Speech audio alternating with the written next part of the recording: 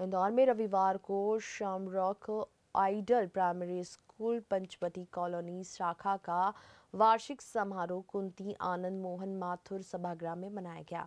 समारोह का उद्घाटन संस्था के प्रबंधक कैलाश चंद्र दुबिया ने दीप प्रज्वलित कर किया। इस दौरान छात्रों द्वारा रंगारंग कार्यक्रम प्रस्तुत किए गए। कार्यक्रम की शुरुआत सरस्वती वंदना से की गई वेलकम डांस ड्रामा सहित नवरस डांस भी किया गया। इन मन भावन प्रस्तुतियों ने दर्शकों को तालियाँ बजाने पर मजबूर कर दिया। बच्चों द्वारा पियानो बजाकर स्केटिंग करके अपनी स्किल्स को मंच के माध्यम से बताया। इस अवसर पर संस्था के प्रबंधक कैलाश चंद्र ने बच्चों की तारीफ़ कर उनका मनोबल बढ़ाया और बच्चों को प्रोत्साहित किया। समारोह के अंत में प्रिंसिपल रेखा चंदेरिया ने सभी स्टूडेंट्स और अभिभावकों को धन्यवाद दिया।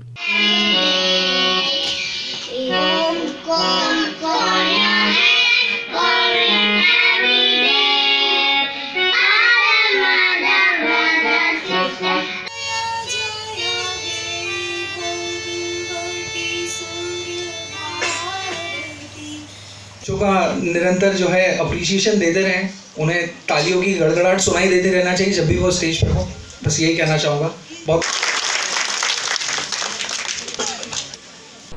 एक्चुअली शैमरॉक इंटरनेशनल स्कूल है जो पूरे भारत में 650 प्लस ब्रांचेस के साथ में यहाँ पर सक्सेसफुली रन कर रहा है।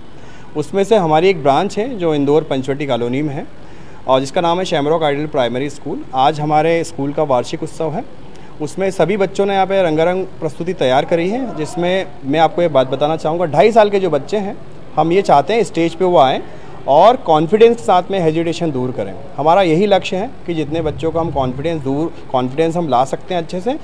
करते हुए प्राइमरी पे आ गए हैं और बहुत ही अच्छे से हमें पेरेंट्स का भी सपोर्ट मिल रहा है। हम चाह रहे हैं कि ऐसे ही सपोर्ट हमें पेरेंट्स का मिले। रितेश जी एक हमारे पेरेंट्स हैं। ये मेरे ब्रदर हैं। और हम सभी मिल के ये पूरी यूनिट को चला रहे हैं और हम चाह रहे हैं कि और भी अच्छा हम प्रोसेस कर पाएँ।